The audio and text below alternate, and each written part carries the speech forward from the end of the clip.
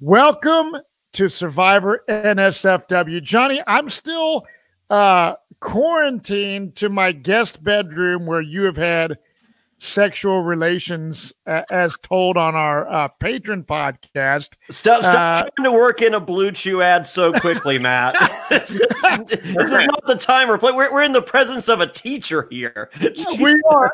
so I, I am I am very stoked. As much as uh, Jonny and I joke around and bust balls on the podcast, it is truly an honor to have Survivor winner of what was this season, Jonny? Was it Ghost Island or Redemption Island? I'm just kidding. Tommy Sheehan. What is going on, my brother? This is truly awesome for me as a Survivor fan. I get excited every time that I get to meet a survivor that I haven't met before, whether it's on this podcast or in person. And Jonny Fairplay always will text me and be like, "Hey Matt, uh, so uh, Monday night we're doing a fucking uh, Q and A with Russell Hantz, and then we're doing Tommy Sheehan, and then we're doing Lex van den Berghe, and it just it always makes me like super excited and, and giddy because I love Survivor, as I know you do too. Yeah, right? this is exciting. I listen to all the different podcasts. I listen to you guys bash me for what 13 episodes. So hopefully oh, I don't put you to sleep right now, but I will do my best and give you many lessons on how to play in time with Tommy. Um, so we get this going and rolling. We we, yeah. we did we did not stop after 13 episodes, Tommy. I assure you, it, it continued. I, I I do admire your optimism that you thought we quit after that. That's good. I just came on from Matt. You know, I grew I'm growing out my beard, the quarantine beard. I'm going to try to beat his record. You know, I, I might have to do a couple of years of quarantine to get there, but uh, yeah, I've been in quarantine for 20 years with my. but yeah, Tommy, it's it's it's a pleasure, my brother. It, yeah, it truly is. Same Tommy, uh, there, there's uh, we we there, there's an elephant in the room here. Uh, in that we're watching a season uh, be, uh, that that goes under the the auspices of winners at war. Did you receive a phone call? No, I did not receive a phone call. I actually asked about it, and they said that it was you know they couldn't have put me on because the season they go back to back with Malcolm and things like that, there wasn't a winner. If I was on this, then our whole season would have been like technically spoiled because the cast gets released because I didn't technically win until December 18th. So um, gotcha. Yeah, yeah. Or that I'm just boring as fuck and that uh, they just didn't want me out there.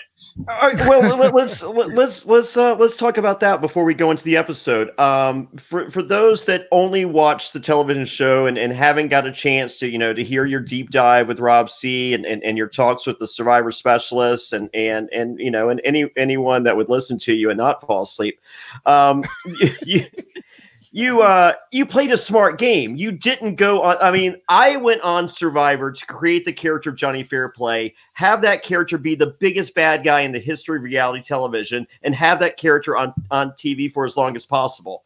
Did, did I skip one part in that? Yes, I should have added to those three things. I should have said, "Hey, Jonny, how about do four things, dum dum, and win the game." I didn't have that in there. You went in the in with the philosophy of, "I want to win a million dollars."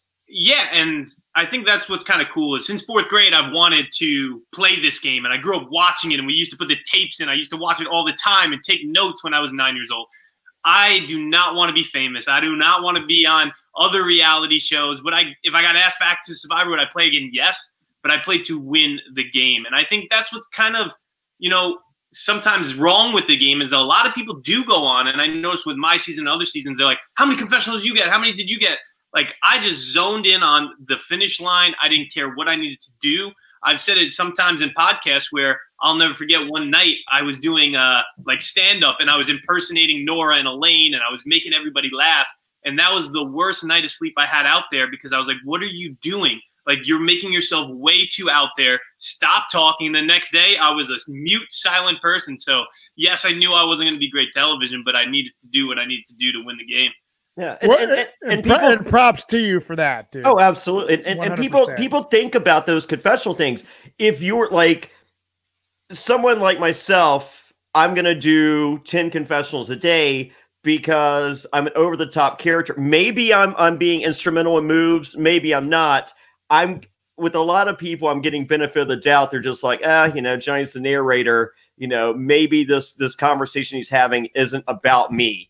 And and I'll allow that.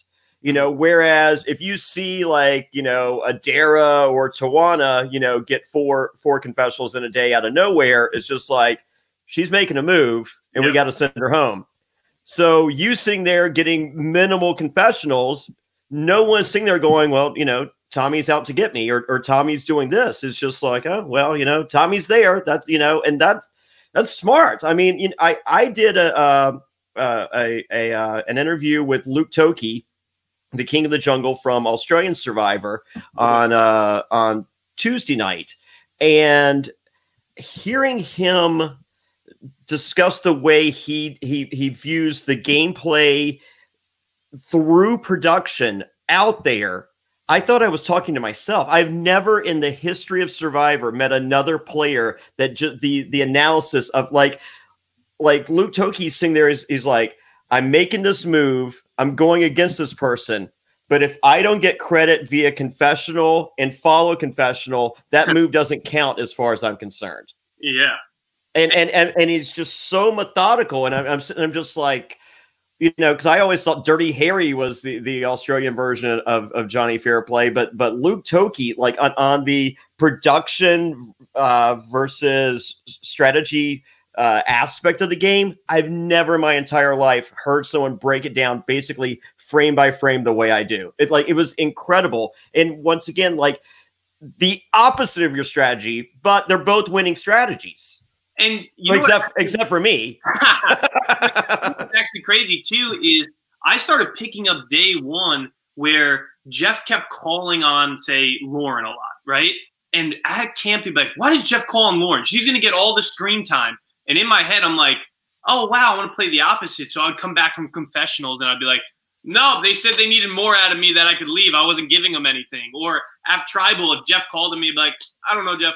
Like I would try to not do it because especially when we met Elaine, everyone's like, Elaine's getting all the screen time. People would argue about that on the island. So I'm like, selfish reasons, people are gonna. I could pay, poke, poke the bear and be like, hey, Elaine's getting all the screen time. Let's vote yeah. her out. She's too likable. Easily, easily. So, but uh, it, it, it's so incredible, and and uh, like like the only difference in, in philosophies that that Luke and I had was uh, I didn't like to reveal like the the rumor and innuendo is that the only time you can be completely honest is at tribal council. And I'm like, yeah, if you're a fool. Yeah. like, I, like I'm just like, uh, the only time you can be honest is in a confessional, you idiot. But, yeah. but, but, but people really believe that. And people feel that they can come clean at tribal and it's okay. And I'm like, yeah, if you want to expose your game, please do. But, but Luke is a firm believer in if you don't say it at tribal, it doesn't count. Like, like he, he he wants to make sure that that if if if they're not getting what what he wants them to get via confessional, he's going to say it tribal in a way that's huge, over the top. It has to be used. In I've never seen Australian Survivor yet, but is there live tribals like now? Because I feel like if I started like, look, Wendell the other day was like to Parvati, like, hey, Parv, like let's let's work together, and then that could have blown up in his face, and he could have went home. Like I feel like does that happen Australian Survivor where if you're that honest, people are gonna then say, well, no, f that, I'm gonna go stand up and start moving around. There's been, there was on Australian All Stars there were two without spoilers, Matt. There there were yeah. there were two big things where something's about to happen and another person gets up and says no Mm. Let's talk right now. And they get up and have a have a conversation, and it's like, holy shit. And you know, and I'm screaming to the TV. I'm just like, please don't be lying, please don't be lying, please don't be lying. And then fast forward later, something eerily similar, and and the person's like, we can't do this. Trust me on this. Go against everything you're thinking. And and then I'm just like, they're fucking lying. They're fucking lying. they're, so it, it's uh yeah it's it's they're the Australian the Australian survivors they feel that physically they could dominate us and and I think they're right for the most part. However, uh, strategically they they feel that we're better. And I'm watching this last season of Survivor of, of, of All Stars going. I've seen the best best strategic games I've ever seen in my entire life. Like I think they don't think that they're as good as they are, which is fine. They can keep thinking that. Yeah. However, if they want to, you know, bring like I I peek behind the curtain. I messaged one of the producers of Australian Survivor today, and I said, "Hey, you know, it doesn't have to be next season, doesn't have to be the season after that, but you guys want to go 12 versus 12. I got 11 motherfuckers yeah. that are a hell of a lot bigger than me that I'm more than happy to bring with me to that that beach. Let's go. Oh, I would love that. It would be so cool to see like continent versus continent, like their their style of survivor versus our style, and just like all out brawl. I think that would legit be uh, winners at war. Like whoever wins that is not only the best survivor player, is the best in the, in the world, right? So, and I would and I would love to see you actually play. That would be nice. Oh my god! I, I talked to Jonny Fairplay about that. Everyone probably thinks that we hate each other, but um, but we actually talked about that. Is it's so hard as a competitive person. I've played, you know, college basketball. I was recruited, you know, college football. I was, you know, a big athlete, and I couldn't win a challenge knowing I would go home the next day. It was sure. so hard to be like, oh, my hand slipped. Oh, I fell off this thing. It would eat me up for days and days, but that's what you have to do to win, which is kind of sad where it's play half ass and yeah. you win Survivor, which I don't really enjoy about our style of play, I guess. But, but, you, but you, Australian play, real quick, Matt, Australian play like you know talking dirty harry. He said joey amazing is easy final five every season of australian survivor. He wow. is not they're not going after him for being a challenge beast. If, if if if you're if you're a challenge beast and you have a remotely good social game you're there because they respect people that play the game. Sign me up. Sign me up. Play a different so real quick are you bummed watching this season Tommy, that you're not out there? Is it like because eh, you're a huge fan since you were nine years old, taking notes or whatever? How hard is it for you to watch this without without playing? It's it's crazy where I was really excited to be a fan again. You know, as as you're player, like you're getting bashed on Twitter or just it's just a whole world of like like annoyingness, right? I wanted to be a fan again, and watching this back, I was so excited. And right when it was like Winners at War, the first episode, I was like, shit, this sucks. And to be yeah. honest, every episode, there's just this envy, there's this fire in me where I was just like, I would have done this. I would have done this. I would have been with this person. I could have done that. I could have showed the world what I could have done more. You know, I would have loved, loved to have been out there with all these, you know, quote unquote greats and all these winners uh, to kind of because now again this is where you show you're not just a one hit wonder. You, I could dominate my season, but I could dominate the great players too. So every episode, I'm just like drooling of like what I would have done or what I could have done. It was just bad timing, and uh, but yeah, it's it's actually pretty tough for me to watch. I'm sure. I'm sure. And Jonny, so you can uh, people can go onto an app and literally bet and play games about Survivor. Tell our listeners about it. Well, it's absolutely free to play, Matt and Tommy, and uh, I'm not allowed to play, or else I would take the money every time. Because if you've listened to this podcast, I know more about Survivor than anyone on the planet. Uh, case in point, uh, my my winner pick for uh, for your season was Chelsea Green. I was right on the money there. What third boot? Uh, yeah, so it would probably be pointless for me to play. But you guys who watch the show and know the show better than any of us, go to fanduel.com slash fair play. Fair play is in all caps. It is case sensitive. That's F A N D U E L dot com slash F A I R P L A Y each and every week before the episode airs, East Coast time, 8 p.m. on Wednesday nights. And you get wow. Who is that? That was wow. It's pretty cool. I love that. But uh, but you go on there and you you you pick your four players that you think are going to do the most. You know, is your player going to get a fire token? Is your player going to win immunity? Is your player going to cry? And if you guys didn't double down on Adam Klein crying tonight, you are an idiot. Jesus. that was easy money right there. So, but uh, but but each and every week they're giving away, uh, I believe uh, this week two thousand forty dollars. How cool is that? Free to play, no money to get in and play. It's uh, it's really cool. A lot of people are thinking, hey, you know, this is a survivor thing to get in, and pick the winner. You know, is it too late to do that? This is not what this is. Uh, each each player, uh, each person has has different uh, points that they can earn throughout the episode. This is each and every episode you can do this. So go right now, get in for next week. If you were in today, congratulations. I had a friend of mine that lives in Alaska. Like uh, he, he's he's uh, he's one of the representatives for uh, for Leave No Trace across the world. He goes around to all, all the REIs and stuff, and he, and he explains how to live with, without leaving a trace on the planet. And uh, he he uh, he has uh, very limited internet. He has very, and uh, he he was one of the first place uh, winners uh, of last week's, and and thanked me very much for for showing me that this is a possibility to do this. Huge Survivor fan. Uh, actually, I gave him a Rick Devens autograph picture the last time I saw him. I, I he uh, he likes the players that aren't as good as me. It's weird. So so but uh but yeah, go to fanduel.com slash fair play. And fair play is, is in all caps. Get in, get in your, your picks each and every week. They're going to the end of the season. We're so excited to have them as a sponsor here of the Survivor and the SFW podcast. And uh, man, if you had to bet who was coming back into the game tonight, what would Dude. you have thought? So I had him on my FanDuel. Did you? I had I had Tyson as my MVP because I thought so you get double points for that. Oh no, yep. 1.5 times. So I had Tyson, he got me 30 points. But then the rest of my squad, I had Ben, Tony, Michelle, and Sarah, who really did nothing. So I did not place well this time. So not only if you play FanDuel, you can beat Survivor players too, because we're playing also.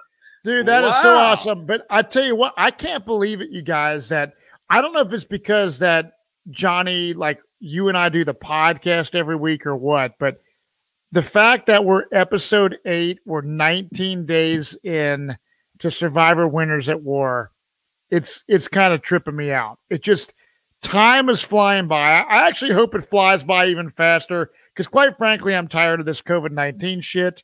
And when we get to watch Survivor, all of us that love the game, players and fans, get to just kind of get our mind off the bullshit that's going on in the world and watch this game that we love. And I tell you what, Jonny, last week I think you might have said it was your favorite episode of the season. This was not. did you not like tonight at all? I love tonight's I, episode. I, I, I, liked it, but it was not my favorite episode. okay, well, I I actually enjoyed this episode more than I did last time. We start off day 19, Edge of Extinction and this is where it all boils down to who is going to get back into the game. And there's an epic challenge. And we have all the players that I love, all the old school people. I don't know who the hell I want to get back in at this point because I love so many people that are on the edge of extinction. Well, well real quick, Matt, we did learn b- before them heading to that challenge that Natalie has earned enough fire tokens on yes. her own mm-hmm. to buy an advantage and an idol. Right. And of course, Bossy Rob with Amber's help, not mm-hmm. by himself, because you know it's so fair to have a husband and wife uh, tag team out there in a in a all winter season. Uh, but uh, they are there. They both won. You know, they're half the battle. And, and more and more power to her to give her. I mean, Rob well, has the better chance of getting. Well, what is she going to do with with one one token? Yeah, right. so, yeah. But uh, and and then for some reason, uh, Parvati has to do yoga. yeah. did, did you see uh what was it uh was uh wikipedia uh uh they have they haven't mentioned it, it it's it was, it's mentioned on our patreon page so Parvati, Parvati has taken exception uh, to the fact that they have air they aired the tribal councils out of sequence, and that Sandra's tribal council was prior to Parvati's. Uh-huh. Oh, wait, wait, as she, far as watching the show, yes. Okay. And, and, she wants it on record that Sandra went home before her, and and uh, as far as the record books are are are written, they are not changing that. So uh, so Parvati went home before Sandra. So let's let's let's uh sorry Parv. Uh you know, you don't get to choose what order that that the edit goes down. But Did uh they but, just for Sandra to have the continuity of like raising the flag? Is that the reason they edited that way? uh I just think it was a bigger deal. Um Sandra's the queen. And and, and new t-shirt available right now at johnnyfairplay.com just dropped and still the queen uh Sandra Diaz Twine. So let And- me ask you this, Tommy. Yeah. So obviously Jonny busts Sandra's balls all the time about being a worthless winner and blah blah blah blah blah. But my It's question a recurring to theme. Have you, have you caught that, you- but do you think that because I know there's a bunch of controversy with with Russell Hantz uh, getting a lot of hate from people. Uh, do you think Sandra raising the flag at Edge of Extinction counts as a quit in this situation or not a quit? Because quite frankly, for me, I don't consider it a quit. I think you got voted out of the game of Survivor. Sandra has zero to prove. Sandra could not have won the challenge that happened tonight to get back in the game. What are your what is your opinion, Tommy? So it's I'm in the fence between this because Queen stays Queen. I met her, you know, because she was part of my season. I met her in my finale. She shows me how amazing she is with people. Like I can see why she won the game twice. So I still think she's absolutely a legend. I think she deserved her two wins. However, she took herself out of the game. So in my eyes, it's a quit, but it doesn't hurt her legacy. So I don't her like I listened to Russell Hantz thing and he was like, she's a quitter. I'll never even play with her again. You know, well, I don't think I don't think he gets to decide that. yeah. and you know he would in a heartbeat too. But Yeah. Queen stays Queen. She's a legend, but uh, it has to go down as a quit in my eyes. Yeah, she got voted out, but she took herself out of the game. She had a zero percent chance of winning that challenge, but hey, there's still that .001. You know, go out. By the way, everyone went out. You know, either getting voted out or not on your own will, kind of thing. right, right. What do you and Jonny, are you what's your at this point in time, what's your take on it? Um, I I I think she made the right decision for her. Mhm. So, and I think she's still the queen. Listen, I don't make shirts that I don't believe in. I mean, you know, also dropped this week was a Shamu with the Boston Red Sox hat on. I believe that that Boston Rob is fat. I'm, I mean, I'm, I stand by that, and I still stand by the fact that that Sandra Diaz Twine is still the queen. I listen, you know, she's she's my enemy, but she's my enemy. Mhm. Right. Well, yeah, mutual that's respect. So we have the, the edge of extinction. A challenge is going to go down. At the same time, it is merge time, and this is where I think the game is really to start getting good. Did you Uh, like the black buff? Huh? Oh, dude, I'm stoked on the buffs, and I'm also just kind of pumped at the fact of how this is all going down, man. I think that, you know, this season, I, I know going into Winners at War, I think that it was going to be like, oh, this is going to be the greatest season of all time. Thus far, I think, I mean, I think it's a top tier season, especially off the uh, seasons we've been having to uh, watch prior to this. I, I no, just- didn't watching it. but but I'm saying like You- I, hey, thank thank you for making us want this so much, Tommy. but but I don't I like thus far I haven't been like totally like I love it because I, I I I think it's great, but I haven't been like completely like this is the best season of all time. But I think now it's a turning point that I think it's gonna keep getting better and better and better. Now, Tommy, so Yeah. far as a season, uh, you know, a lot of hype going into a winter season. I know, you know, we've talked about like there was going to be a legend season potentially. A lot of legends got phone calls uh, before, you know, they decided that it was going to be an all winter season. They changed the theme. It's all winners, blah, blah, blah. Yeah, yeah. Do you think this is like one of the greatest seasons of all time right now as a, as a Survivor fan? So the way I look at it too is even as me, I you know I would love to return and play again. I love newbie seasons because I love how in the pre-merge you get to know their character because usually the game doesn't really pick up like to the full cutthroat level until merge.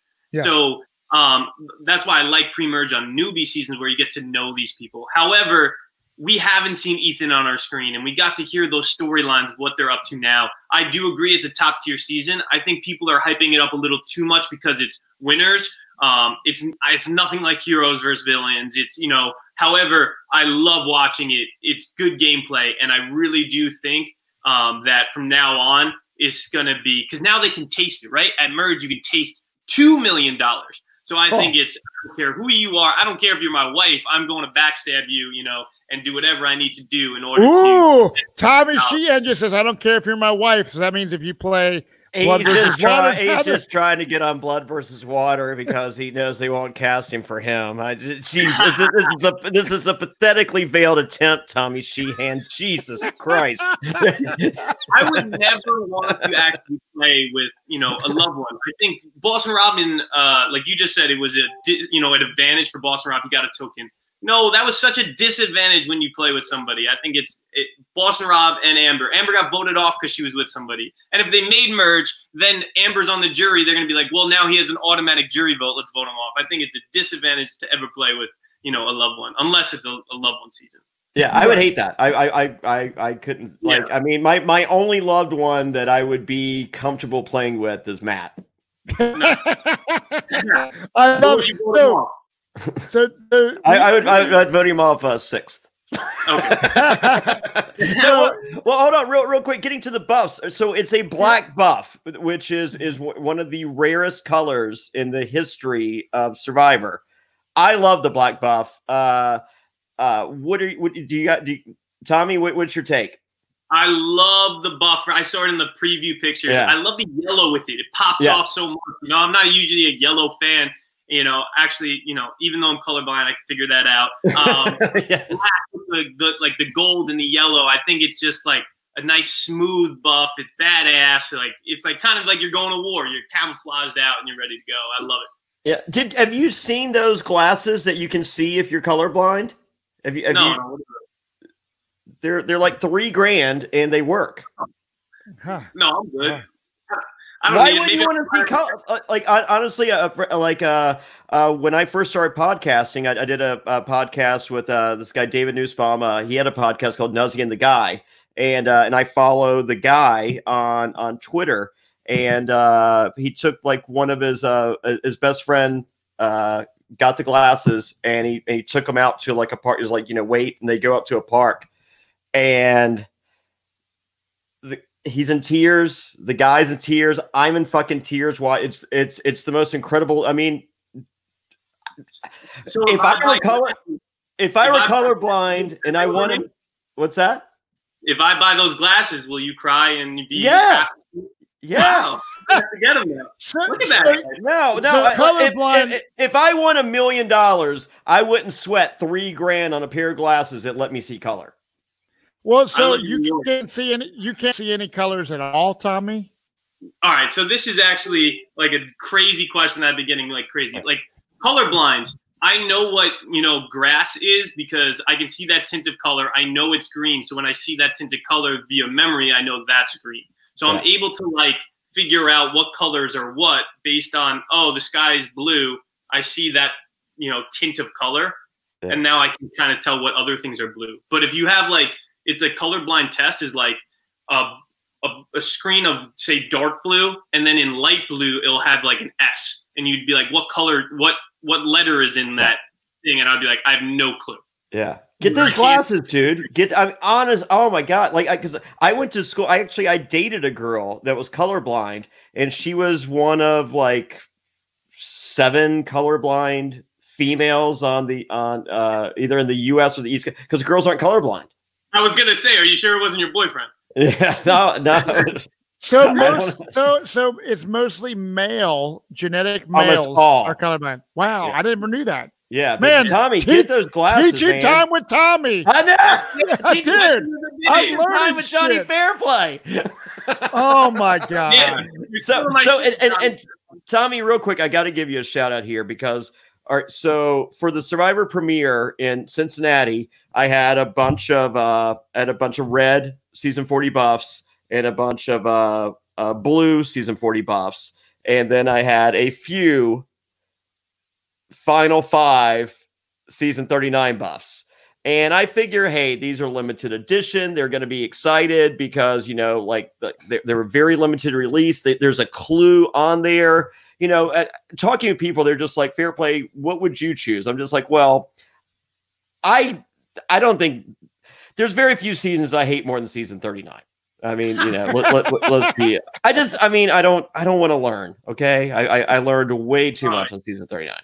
So, uh, and I don't think you guys wanted to teach. So, teaching time with Tommy had nothing to do with what we saw in season thirty nine. I assure you. See, our, our hatred, so our hatred though, just peek behind the curtain, as John would say, the hatred towards season thirty nine had nothing to do with Tommy or the majority of the cast. It was the just utter stuff we just we want to watch yeah. people play the game of survivor we don't want to see sexual harassment issues and me too movements and all that shit so yeah. it's, it's, really got the majority of the cast i really yeah. liked yeah and so so i dreamed of playing my whole life and every tribal like even me i'm like i didn't sign up for this yeah, right I, like you know you're not allowed to have a girl alliance you're not allowed to have a boy alliance you're not allowed to be i'm like can we just play the game? Like, can we yeah. just stop? Like, even when I was playing, I'm like, I didn't sign up for this. Like, besides the dance stuff, it was all this sexism things and this. And I'm like, guys, let's just play the game. Let's stop. Like, oh my yeah. God. So, so, so we have so we have this final five buff, and I'm just like, hey, even though I don't like this buff, I'm just like, if I were a survivor collector, I would imagine in two years this buff is probably going to be worth more than these two because it, because as I said, limited release. It has you know there, there's a specialness. A lot of people aren't going to get that because of their dislike, and that's the shit that that's worth more down the road. The stuff that people like, you know, if everybody gets a season forty buff, you know, then it's worth less. You know, whereas it's like, man, I probably should have picked up that season thirty nine, especially the limited edition one of the final mm-hmm. five. That you, so anyway, so you know the the last you know so if if someone came with someone else, it's like, okay, I'll take a season 40 buff, you get the you get the 39 buff, you collect, you know, you can have them both. so only in situations in which someone could get both did someone want the 39 buff. So uh, so we get down to the last person. I mean, they show up like, you know, while the show's airing, and the only buff I have left is a 39. He's just like, so that's it. I'm just like, yeah, it sucks. You should get here early. I don't know, man. so, oh, man. So, so I have what six remaining buffs. So I hit up Tommy. I'm just like, hey, I, I, I, I got. I'm, I'm asking a huge solid here. Can I send you these buffs and can you sign them and send them back? You know, I, I got. I'll, you know, there'll be return posted, everything. Just, and Tommy, stand up guys, like absolutely get them to me. Got them back immediately. Fast forward to the next live event the first six buffs that, that went were a Tommy Sheehan season 39 buff. Oh, 100%. I, that's awesome. so, thank you. Thank you. So no, it was really cool. Really cool. So I, I wanted to, so we go to this freaking challenge, dude, where, you know, they're kind of, Jeff is talking to like Tyson and Tyson gets emotional. Tyson's always funny. He's always telling jokes.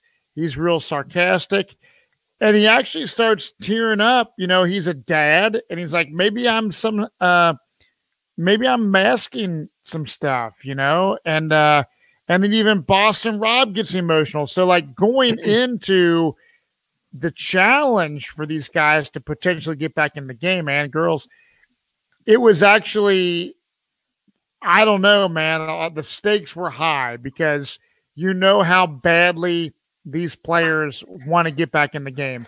And to me, a challenge like this is like anyone can win. You know, Natalie, who is a freaking beast, could win the game, and she has all these fire tokens. So I don't know. I was super excited for this challenge. And uh I mean, going into this challenge, Tommy, who did you think had the best chance of winning to get back in the game?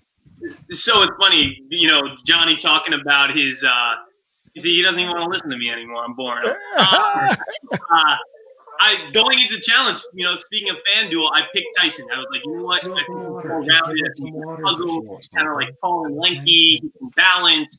So I picked Tyson to actually my FanDuel to get back because you get a lot of points for that.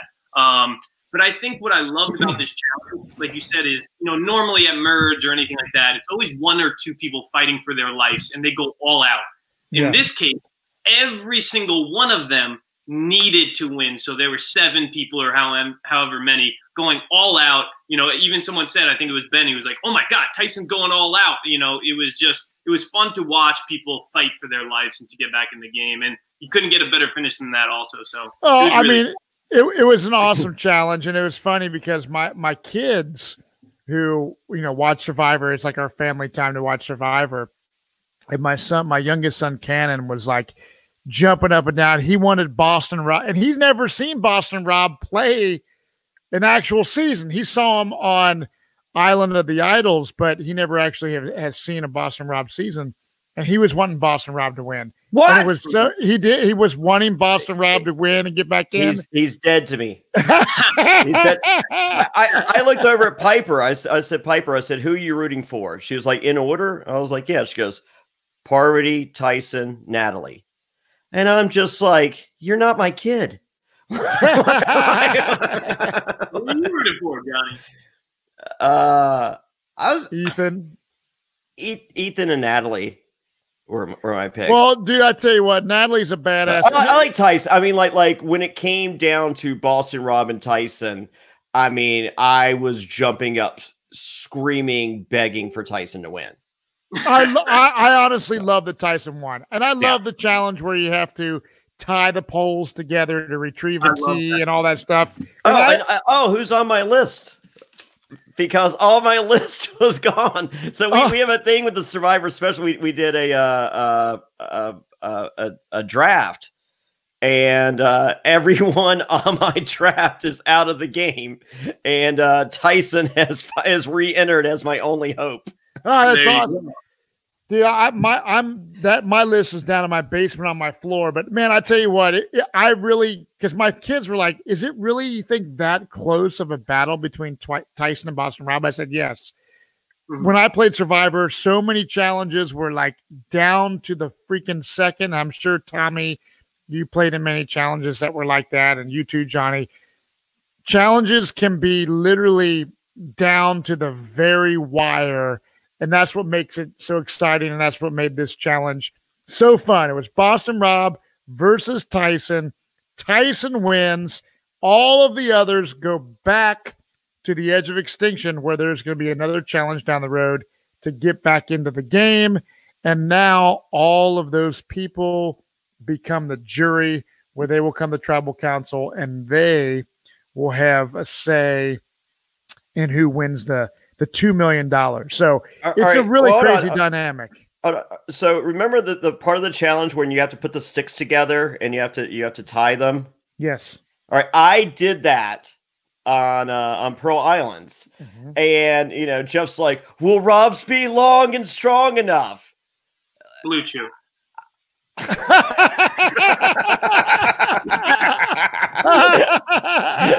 Guys, remember the days when you were always ready to go?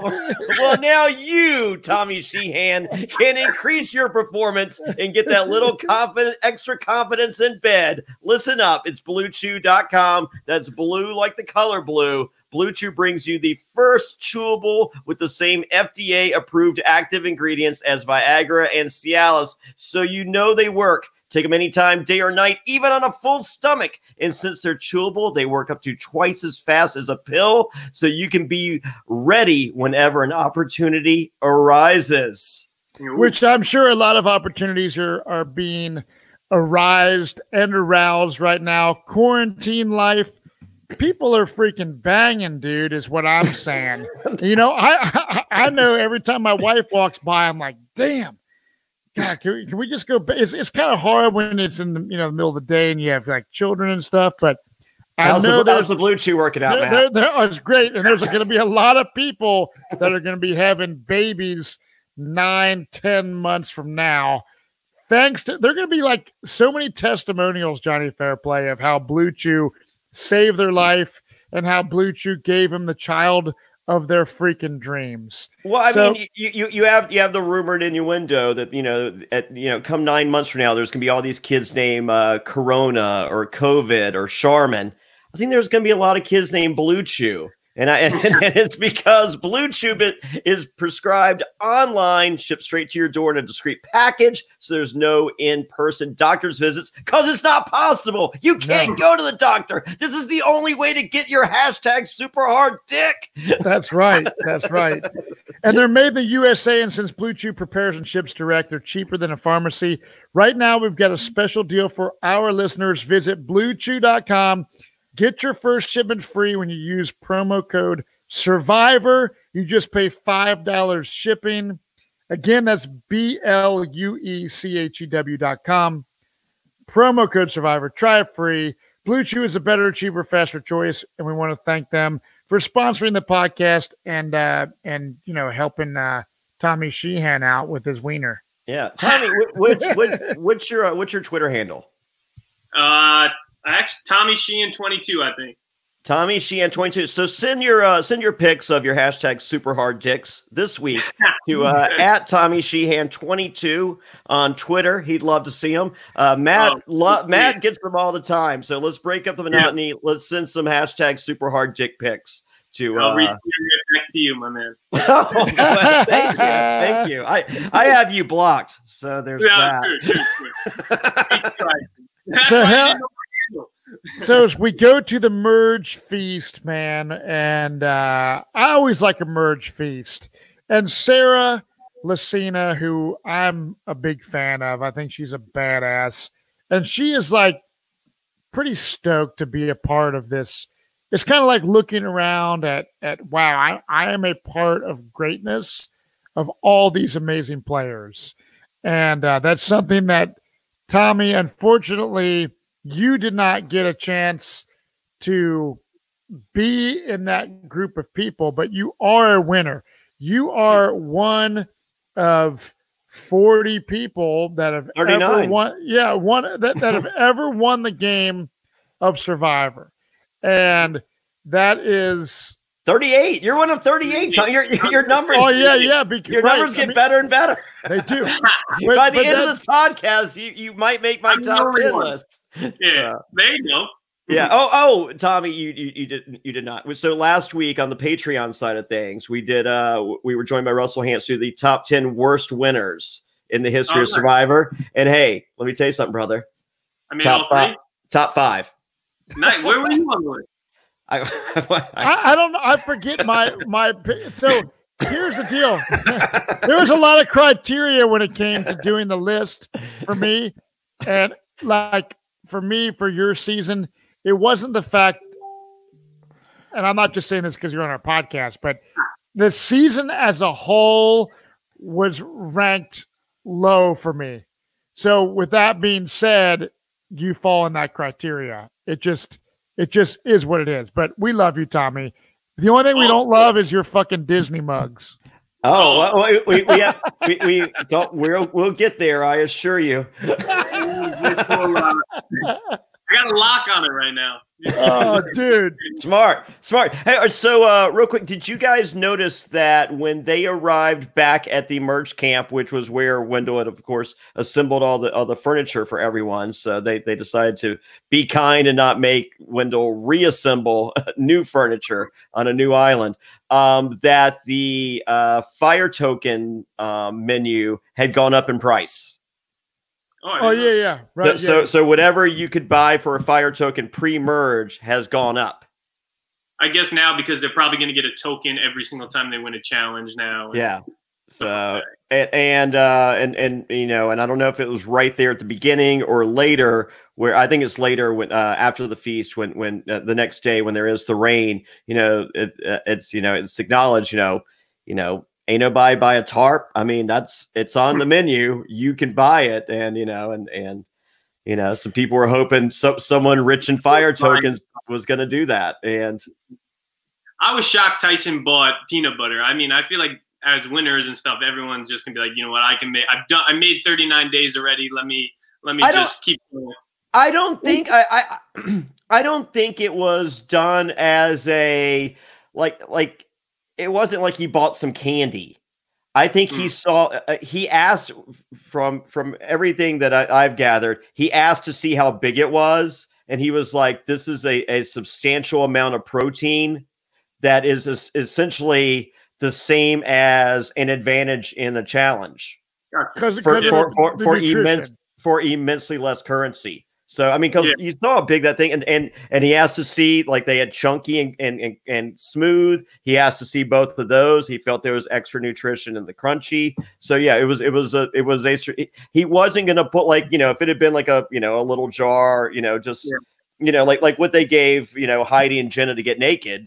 The answer is no. But you know that Yeah. big jug, he's just like this is an. He goes, I consider this an advantage going, in, and and that's what he was buying. So Yeah. we see at, at this merge feast, Denise kind of spilled the beans on the story of like how how Queen Sandra got voted out, right?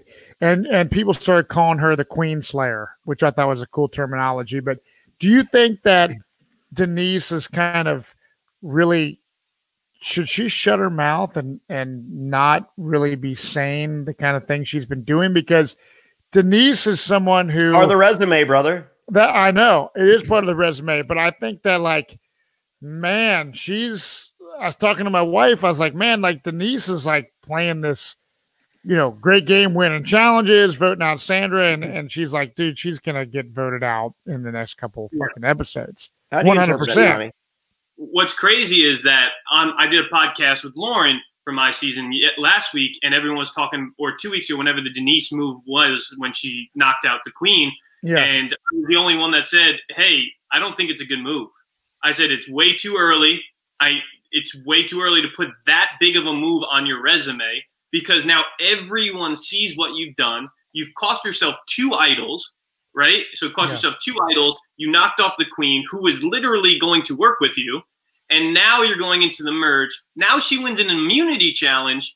You know how big her resume is now, where she is loved. You know, Tommy loves his mommy. I hope Denise wins, but now her resume is way too big with an individual immunity win, with playing two idols. So now she has an advantage in two advantages she used, knocked out the queen. She won a challenge. She's not going to make it that far. She's going to be one of the next few to go. But, Right. but don't don't you consider going into this season uh, what what Tony refers to as a low profile player, and maybe she needs something like that on her resume to to to win a winter season? I mean, like like I would consider you a low profile player going into 40 if you were out there. Yeah. Don't you think you would have need don't you think you you would have needed to have added something to to take you to that next level? A hundred percent, but I would have not made that move That early? people in the game. You make that move at 10, 11, that knocks you down to nine. You win a challenge, that gets you to eight. And now everyone's fresh in your mind that you're doing really well. You win another challenge or two, you're sitting in the final three with a good run at the end. Where if she's doing that too early, now she's a high profile player where it's kind of she's an easy vote still now, and she's now she's a high profile. Now we have to watch her. Now her name's coming up in people's mouths when it wasn't ever before. So you got to kind of save that opportunity. You know, when they're, I feel like I say it all the time. You don't play until merge. You know, in my Yeah. season, I just kind of sat back. Once merge hit, you know, the Dan situation overshadowed it. But the Kelly move was my move. Right at merge, I knocked out Kelly, and then I got down to twelve, and you know, I kind of coasted from there. So Luke Luke Luke Toki on the Patreon side goes the exact he, he said the big players strategically get your big moves out early pre-merge and so you have them and and then and then coast into the merge with as, as solid an alliance as you can and and then and just rest on those early moves because if That's you because, because if you because if you do one of those big moves mid post merge then that's when that target jumps on you But let me Yeah. ask you guys this: so Denise, winner of Survivor Philippines, you know, I, I don't think people would uh, go to say like she's a legend or anything like that. But even if she gets voted out next week, next episode, do you think she's still going to be remembered as voting out the queen? Like, you know what I mean? Like, She's do you think she's going to get Queen, do- Queen Slayer's, I mean, like, so like forever Sandra's still the queen. right? Sandra's still the queen. I think Denise has earned the Queen Slayer uh, status. Yeah, Yeah, or right. the moniker. Not Yeah. not necessarily the status, but the, but the I moniker. agree 100. percent She will be known as who? Who's the one that knocked out the queen? Oh, that was an epic move, one of the best moves in history. They might replay it. They might do a flashback. But did she play to knock out the queen, or did she play to win, like we were talking about before? Yeah, right, right. It's it's going to be interesting how it plays out. So we see Wendell, man. Wendell, you know, merge is happening. Relationships are forming even more. Wendell's talking to Jeremy. They've kind of hung out before maybe like a charity event or whatnot. They're kind of like just kind of talking and like, who can we get out? And uh, Wendell tells Jeremy that Nick is his number one. Okay. And Wendell is kind of like, man, you're giving away too much information, dude, because I think Jeremy is so smart. He's so cool. He's so under the radar. It's how he won the game. I think Jeremy Collins could win the game of Survivor Winners at War again by p- playing the same way he's playing right now. And this dude is like, I do not want Wendell to have Nick as Wendell's number one. I want to be Wendell's number one. So he's talking about, you know, maybe we should vote out Nick. What do you guys think of this kind of relationship of of Jeremy and Wendell? Do you think Jeremy is playing this uh, pretty smart at this point? I think what what's cool about Jeremy is that you know I love him. I love the style he plays. I think he's one of the best winners of all time. I'll put it out there. Before going out there, I rewatched his season. And I said I want to play like Jeremy. You know the way I think he changed the way the game's played to where you have to have shields in front of you, right? And you have to be you know lower your threat level and things like that. Um, however, you know with when it comes to Jeremy, I think he made it too obvious that he was trying to be buddy buddies with Wendell. Everyone was seeing it. You know, they mm-hmm. clearly had a relationship out of the game. They could have been like, "Yo, we're good," like you two, right? We're good. We don't have to now pal around camp now next to each other twenty four seven. We know we're good. So I think right. he was just a little too on top of Wendell, where then everyone started picking up, including Sophie Clarke. Right. Well, well Wendell mentions in his pregame uh, interviews that he's really looking forward to working with Wendell. He, you know, almost idolizes or, or Jeremy. Uh, Wendell almost idolizes Jeremy, and I, watching the episode, I feel that uh, Jeremy kind of took advantage of Wendell. Like, you know, I I think he was just like, hey, I see this guy likes me. I see this guy wants to work with me more than anyone else. You know, let me cut his legs out from under him so that like it, it's almost like uh um, you know Darth Vader to to uh, to the Emperor. You know, he cuts off uh, cuts off your legs and gives you robot legs, but you know it's just like, but you're you're now behoven to him. So I I, I you know that it was it was a tough watch. You know, and and uh, also real quick as as far as as the Denise Sandra thing, Sandra she she made her pregame alliance phone calls as she always did and one of the phone calls that she made was to denise they had an amazing conversation over the phone and uh, and they both agreed that that conversation really didn't have to be revisited out there that they were cool the deal was done and uh, sandra would say one of her biggest mistakes that she's made in her four times of playing survivor is not having a face to face with Denise because she doesn't believe that that Denise meant what she said. Wow. Hmm. Now, now, Tommy. So there are many players besides you that are not on this season.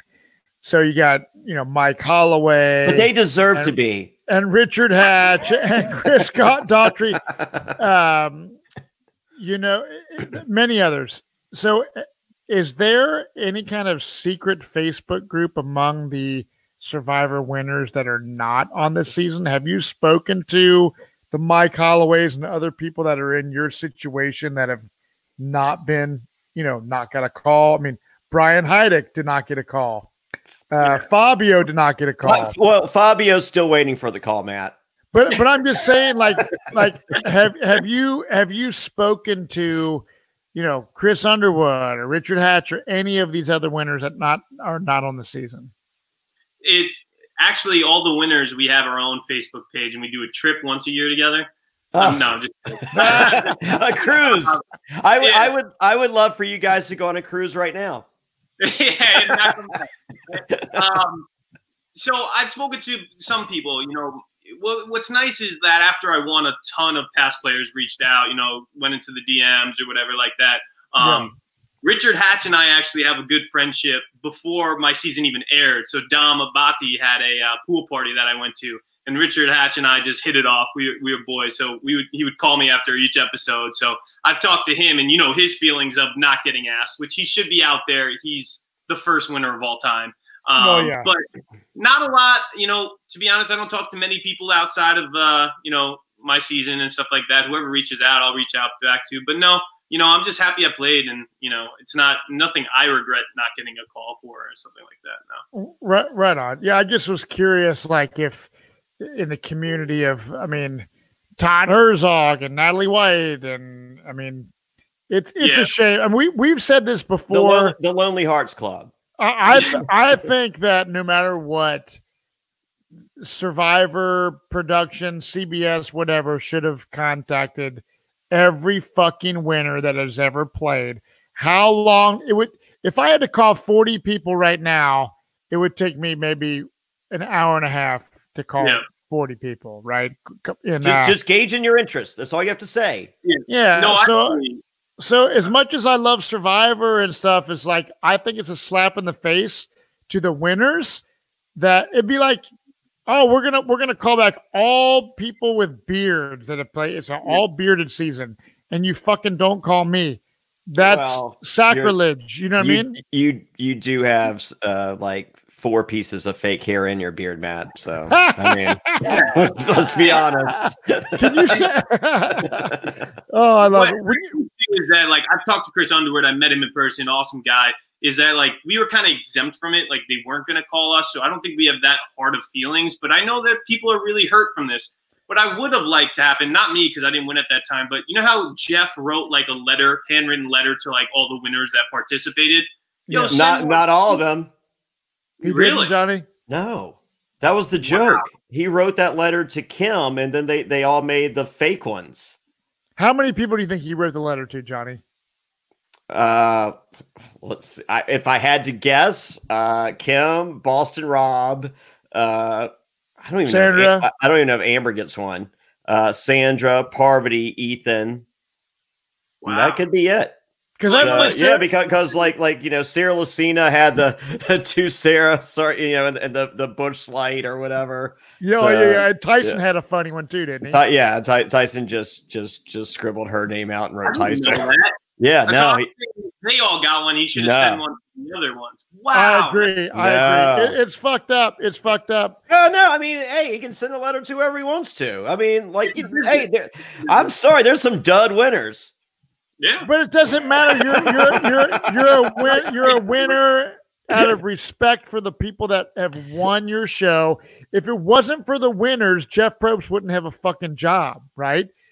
Seriously. So eh, it's like I, I I don't know. I think the better TV people keep him employed. Yeah. casted, right? They're not casting us because we're good survivor players, right? No. They're casting you. They don't care who wins. So I think it's you just their business. They're putting 20 people that they think is going to be good television that has different stories. Yeah. And they're like, whoever wins, wins. We don't really give a crap. So you suckered them in. You you told you, you, you suckered them in. You're just like you know, hey, I'm going to be great, and you're like, well, well, game, right? well, I got I got a question for you, Tommy. When you got on Survivor, was it the first time you had applied and got on, or had you been a finalist at a, a prior uh, casting? What's crazy is that you know I always watch you know in high school, college, and I was like, all right, I'm in college, I can't apply yet, I can't leave college, I can't do this. Once I got out, I got my job, I got tenured, and I was like all right, here's my time. And Big Brother was actually casting. So I was like, let me see if a video works. So I just sat in front, like literally this view, talked for three minutes, sent it into Big Brother, never wanted to do it. And they called me back the next day. So I was like, oh, my video works. So then I went through that casting process as like practice and then kind of just ghosted them. And then when the Survivor casting for 39 came up. It was my first ever time. I knew my video worked. Instead of saying, What's up, big brother? I said, What's up, Survivor? And submitted in. I got on my first try. So luckily, I know people try their whole life. So I was very, very lucky to get on my first try. So, so you're wow, that's crazy. So I would, I would have guessed he was a Big Brother uh, recheck. So, so, you're, so you're very at, at this point, you're super stoked that you did not get on Big Brother and that you get on Survivor? Because Survivor is your true love. I mean, are you a Big Brother fan or? No, I've, I've only seen one episode. I mean, one season because of my casting, but I ghosted them. Like, not to sound anything like that. I was never gonna do Big Brother. If they yeah. gave it to me, I would have said no. I was just practicing as a run for Survivor because I didn't know what casting was. I that's, like this guy.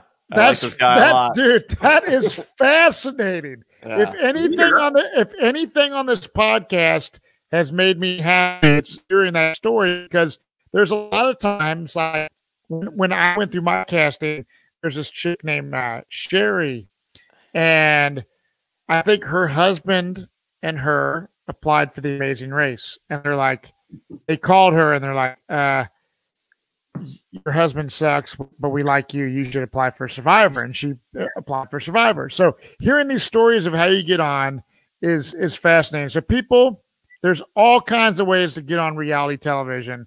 Tommy Sheehan just told you a perfect story.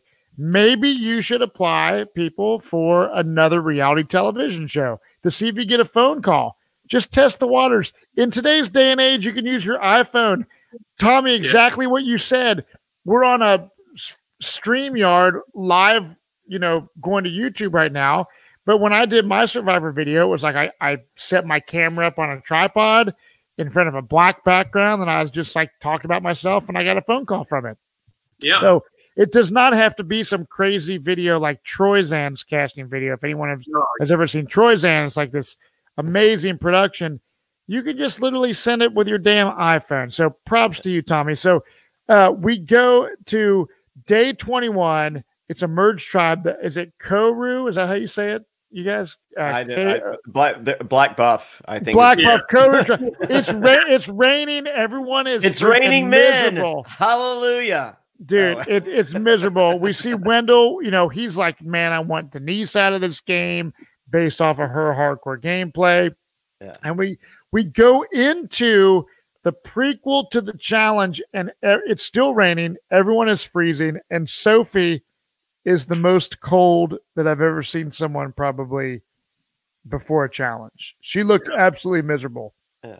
I, I think people don't understand how bad it is when it is bad out there. T- did you guys have a really bad day, Tommy? Oh, we had a ton because what happens is usually the even seasons in Fiji are the hurricane seasons, right? So our pre-merge and early merge was it would rain like every night. We had two bad days where like all of us were like in tears, like yeah. miserable, like you don't sleep. Aaron was running sprints up and down the beach just to stay warm. Like there, there's just no escaping it. Where on television you watch, it's 10 seconds, you're like, you're playing for two million dollars. Get over it. It's yeah, no. miserable. Yeah. We had, we had two tropical storms that later became hurricanes and those were the two worst days of my entire like no contest. I mean like i've had bad you know i had girls break up with me or you know whatever. Like you know whatever you think is the worst day you've ever had is nothing compared to there's nowhere you can go. Like like you know people think you know, it's just like well you have a shelter. They ain't a shelter. You know go under a tree. It ain't a tree. It's like you are getting pelted with rain mercilessly. Your your hands, your feet are purple. They look like raisins. And and and this isn't, you know, like an uncomfortable 15 minutes. This is an uncomfortable 13 hours.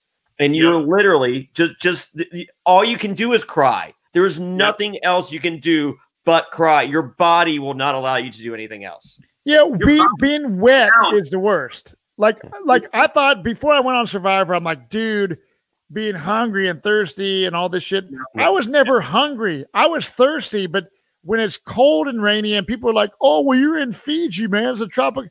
It does not fucking matter if it's the middle of the night it's and cold. it's pouring the rain. It is free, and you are spooning whether it's a man, woman, straight, gay, this, that, the other. It does not matter. You go into survival mode where all you give a shit about is staying warm and literally mm. surviving. You know what I mean? That's that's really what it boils down to. And we see how gnarly it is with Sophie. If you go back and watch this, you guys, watch how she is shivering. This is not filmed in a fucking production house.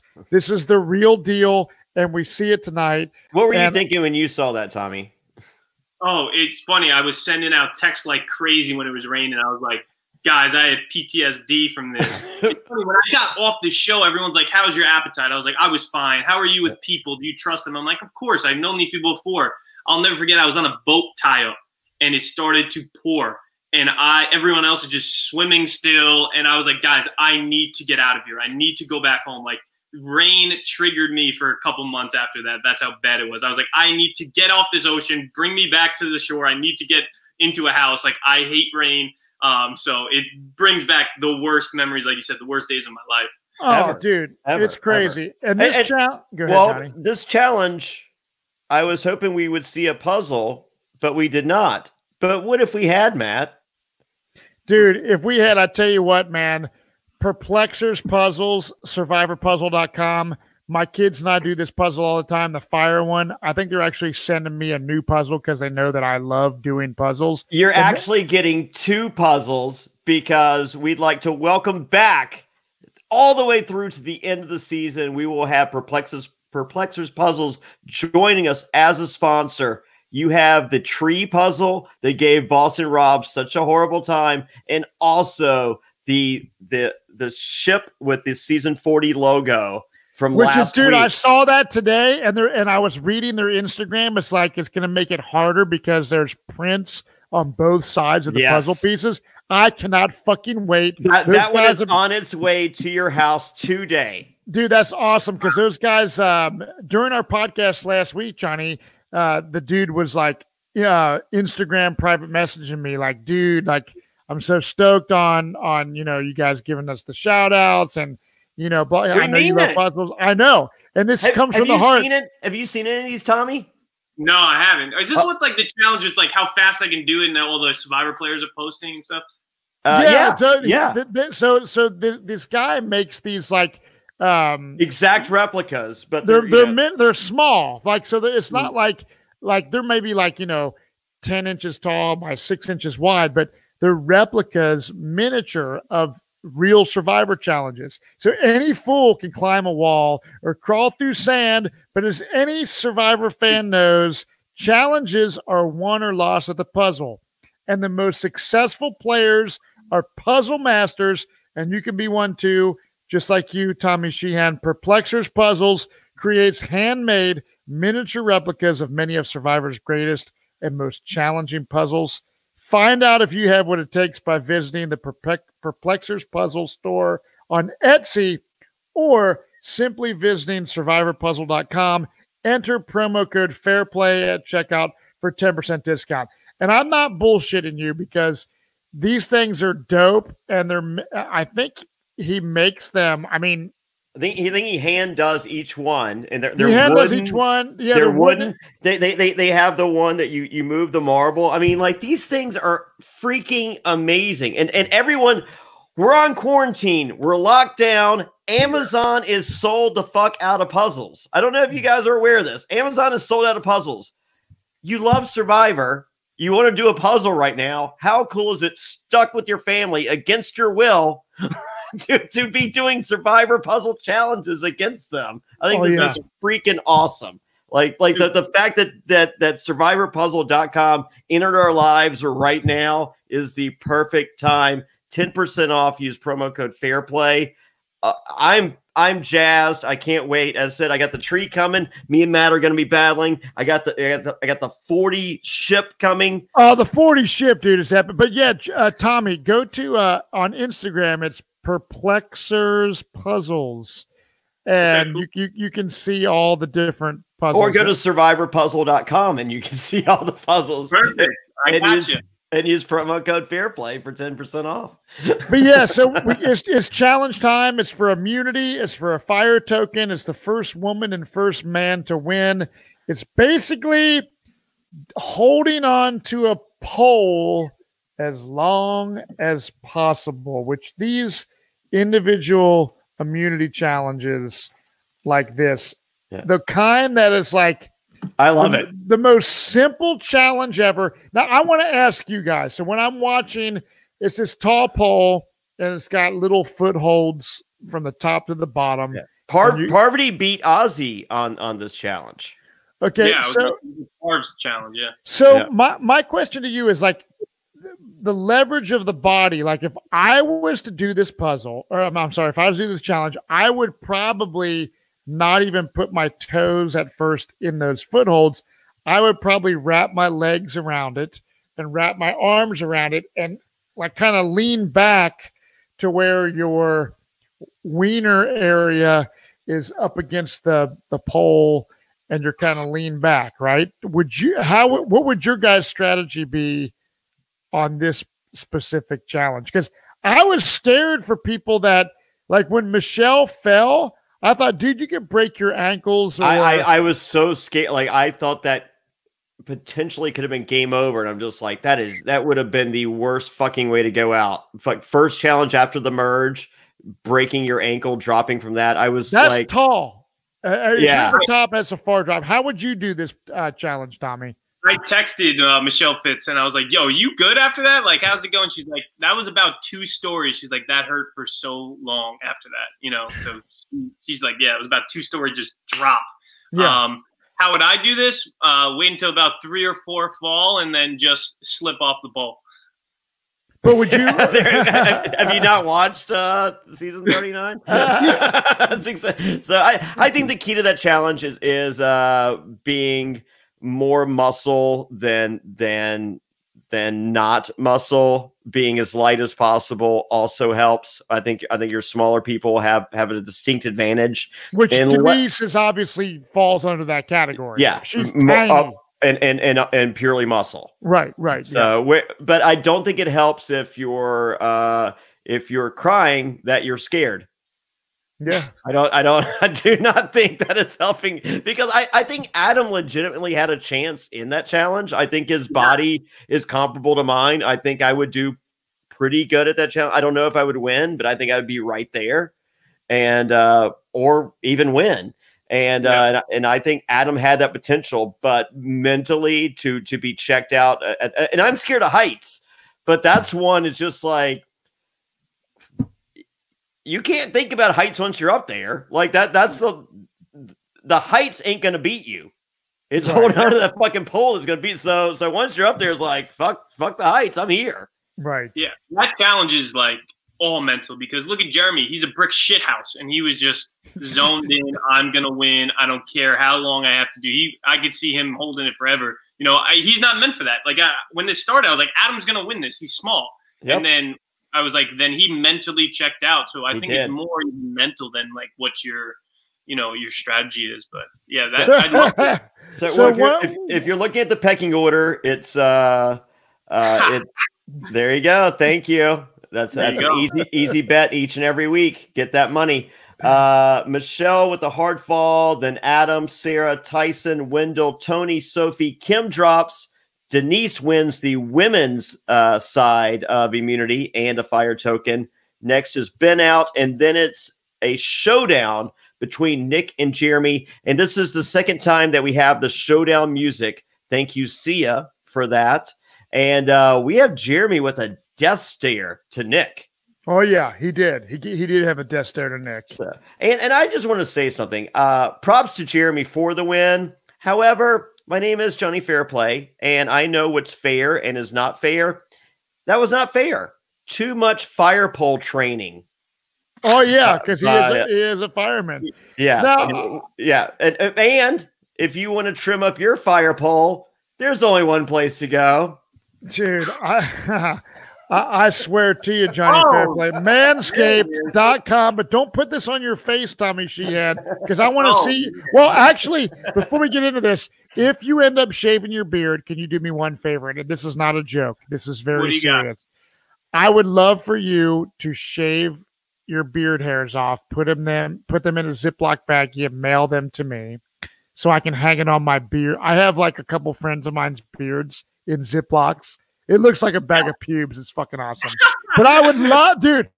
I Oh, don't give a fuck about your winter buff. I would love to have Tommy Sheehan's shaved beard hairs hanging up in my Survivor collector's room. So if you shave it, please Yo. send it to me Because I, I got a weird request, but that's got to be the weirdest. But I will, do it. I will Hey. throw this as long as I can and mail you my uh, my my pubic beard. I'm gonna do, that- I'm that's the you, weirdest do you, request he's ever had. Uh, I'm gonna do you one better, Tommy Sheehan. This box is sealed right here from Manscaped. I'm opening up to show you what I'm sending you in the mail. I already have your address. There you go. You are getting the uh, the Manscaped uh, travel bag, Nice. the Manscaped Times. Yeah, newspaper balls to the walls. Oh, that's cool. Uh, you're getting the Crop Reviver. It's a ball toner. Never know when you're going to have to refresh your balls. Nice. You're getting the Crop Preserver. This is ball deodorant. Now, I know you put deodorant on the smelliest part of your body, which are your armpits, right? Well, Yeah. You're wrong. The smelliest part of your body is your balls. Ask your woman. You need this. I'm sending this. You're getting ball deodorant. She probably doesn't know. I got you some manscaped underwear, just like Jonny Fairplay. We can match. Wow. Would be twinsies. Uh, Nice. size XL. Perfect. that's good. That's perfect. Boom. Hell yeah. Well, I don't know. I'll, I'll ask the girlfriend on that one. And of course, the Lawnmower 3.0. This Oh. thing. What, what, what, what, what did we find out this thing has on uh on how long does this last, Matt? oh, dude, the battery lasts f- forever. I mean, I know. man- What does it say? 90 Well, minutes? I, I, longer than that. I mean, let me let me see here. So basically, it's Manscaped is the only men's brand dedicated to below the waist grooming and hygiene. You're probably spending more time than ever with your significant other, and if you don't want to keep it clean down there, your partner will notice. So Manscaped is forever changing the grooming game with their Perfect Package 3.0 Essentials Kit, as Jonny has showed our listeners. The perfect tools for your family jewels and the perfect package 3.0 kit comes with a new and improved Lawnmower 3.0, which you're going to shave your beard with eventually and send me your beard No, don't use it. Do not use it on your. Beard. It's only meant for No, down but, there. but it doesn't matter though. He's going to shave his beard first. and oh, then- shave your beard then- first, and and, send- then and put never those use in a bag. up there again. Yes. Okay. Deal. All right. That's look at right. this. So for a limited time, subscribers get not one but two free gifts: the Shed Travel Bag, thirty-nine dollar value, the patented high-performance anti-chafing boxer briefs. Get twenty percent off and free shipping with the code. uh, What code is it, Jonny Fairplay? Survivor. They love it when we do that. At manscaped.com. Do yourself a favor. Always use the right tools for the job. That's 20% off and free shipping with promo code Survivor at manscaped.com. And uh, help your relationship out during this quarantine. Your partner, your body, and your balls will thank you. And Tommy, you're going to be uh, getting a free Manscaped uh, Lawnmower 3.0 Essentials kit. And seriously, though, I'm going to I'm gonna hang that. It'll say Survivor, you know, freaking Tommy Sheehan winner's Put beard. winner in, in quotation marks. But dude, no one on the that that's every time I watch Survivor and I watch these Ponderosa videos, the first thing everyone does is shave off their beard. And I'm Yeah. like, God, dude, I, I wish that I could tell CBS to, That I I. I- I would give anything to have a wall of Ziploc bags of like Jeff Varner's beard and Wendell's beard and Tommy Sheehan's beard. It's, Yeah. I know it's fucking bizarre, but And I think it's fucking good. hilarious. These manscaped uh, boxer briefs, Tommy. N- You get, Oh. you, get, you, get, you get your mug like this. This is a Wu Tang mug right here. Well, Jonny, do you have something? Do you have, some- do you you, have know, you know what to do. so, so Tommy, I got a question for you, Tommy. You're a longtime Survivor fan. So Yeah. I, I started doing this podcast with Jonny Fairplay. I don't know how long has it been now, Jonny. Two two years of the worst years of my life. I something. Something like that. That's how you describe it. I, I, I, I'm, I'm lucky someone picks up the phone when I call, so we're good. But I'm, I'm in, all, in all seriousness, like, were you a fan back in Pearl Islands with Rupert and Jonny Fairplay? And like, what is it like having a guy like Jonny Fairplay, who's the fucking legendary villain, busting your balls all the time? What is like your thoughts on just kind of you Being won? trolled you- by Jonny Fairplay. but but you you you won Survivor, and now you're you know you're able to do like other people's podcasts and meet all these people. Is it cool for you? Like, is it still like a a rush and something fun for you? Oh, it's so much fun. I hated Jonny Fairplay when I was like nine years old, and I still hated. I say hate him now, you know. So no, it's unreal. It was. I went to this like Survivor Christmas party in New York City, and you know my fiance was like, "Tommy, relax." I was like, "Oh my god, uh, you know, Cirie's here. Oh my god, you know, Richard Hatches. Oh my god, Dom. Oh my god." And everyone's just like, "Tommy, you're part of us." And I was like, I still don't feel like I even played the game. I, I still like. Well, I'm, I'm that, talking. that that part's that- true.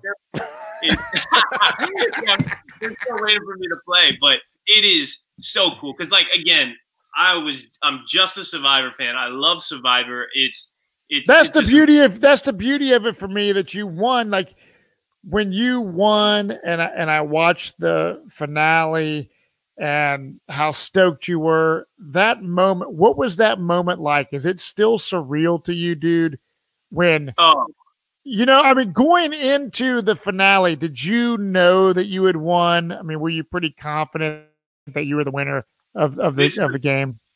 pretty cool story. So yeah, I, I knew I knew I won eight to two. Um, but I told everybody in my family that you know, like I made final three. I got you know, but I came second place. I lost eight to two to Dean. So I told my mom, my dad, you know, my sister, my fiance, everybody that I lost eight to two.